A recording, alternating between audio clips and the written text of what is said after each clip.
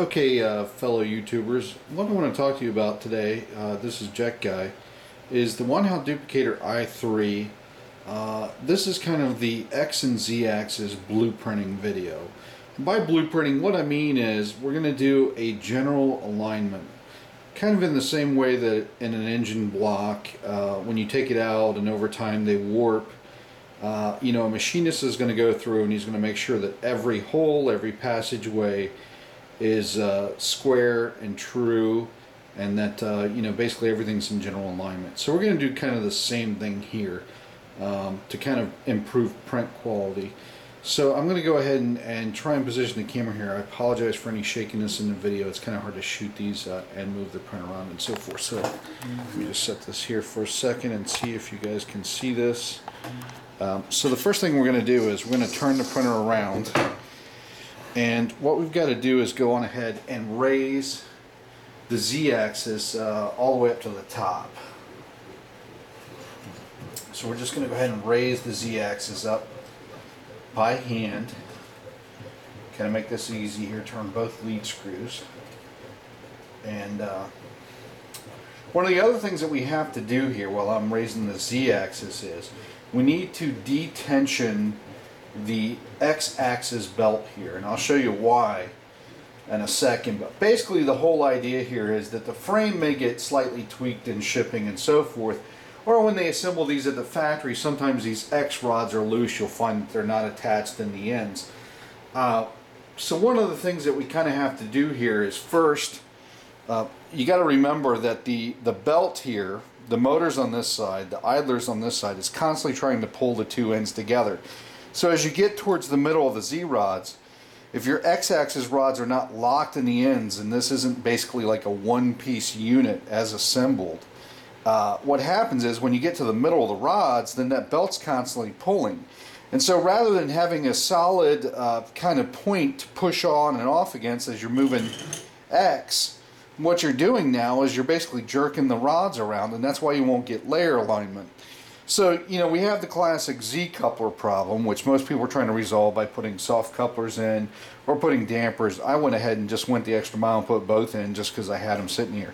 Uh, but again, the, the thing that we're actually going to address here is basically blueprinting our axis so that it slides up and down freely and also at the same time we want to ensure that these rods are positively locked into these two axes.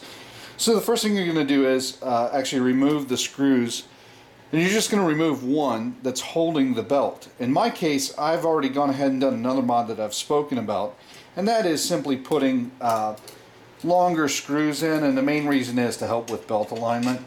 Uh, so, you know, don't worry about that on yours. Basically what you'll have is there'll be the, uh, the same screws and you just remove them. We only need to remove one side because again, all we're trying to do here is, uh, is basically take the belt tension out. We don't want any pull from the belt uh, giving us a false sense of alignment. So again, what I've done here is I've got the uh, I've got my screw out. My belt's completely loose. Now it's probably easiest if you go ahead and turn the printer um, like this, which is going to make this difficult to see with the camera. Um, let me see if I can move here and see show you guys a little bit better what I'm talking about. So hopefully you can see right here there's a set screw and the end of these little blocks and they're the same blocks that are used on Y. They're also found at the top of Z but there's a set screw right here.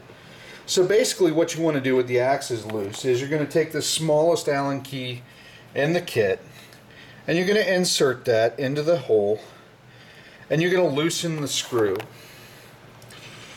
And then you're just going to kind of wiggle the axis a little bit and then you're going to tighten the screw. Now the one that's going to be a lot harder to get through but you can still get through the uh, basically the opening where the belt goes is going to be the upper one. And sorry it's going to be like impossible to kind of show you guys uh, really well in a video. But it's identical here. You see the lower one. You can clearly see it same thing on both sides. And you can see, you just kind of want to center the rod. It doesn't have to be perfect one way or the other. The idea is that it has to be absolutely locked down. And what we're doing is we're doing it with zero belt tension. We want the belt completely loose. We want it all the way up on the axis at one end. And then we're going to go ahead and lock down these screws. And you want to do it as tight as you can without stripping the screw, which is going to be kind of a feel kind of thing. Uh, because what will happen is these Allen keys generally tend to strip in those small screws. It's really not a big deal. The idea is you've got to get it tight, and that's this is key to actually aligning the entire axis. And uh, and then once you have that done, uh, you know at this point in time, it's kind of do good to do a couple mods at once. So I might combine this with doing the Z mod, where I would actually go ahead and remove my Z motors, add my couplers add the damper, do whatever you need to do as far as that because your axis is already at the top, makes it quick and easy. Um, and that's pretty much it. That's what's what what the big alignment is.